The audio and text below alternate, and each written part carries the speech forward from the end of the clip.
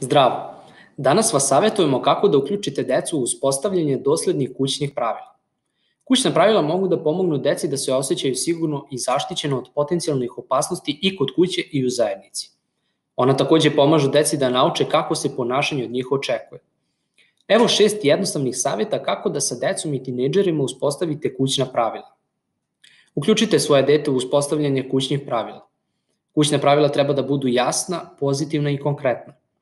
Detetu treba da bude jasno zašto uspostavljate kućno pravilo. Kućna pravila treba da budu fair i realna, kao i uputstva. Veća je verovatnoća da će vaše dete poštovati neko kućno pravilo ako ga pohvalite ili nagradite zagrljajem i poljubcem. Uvodite jedno po jedno pravilo. Upamtite, kada uključite decu u uspostavljanje kućnih pravila, veća je verovatnoća da će ih poštovati. Probajte da budete dosledni i pozitivni.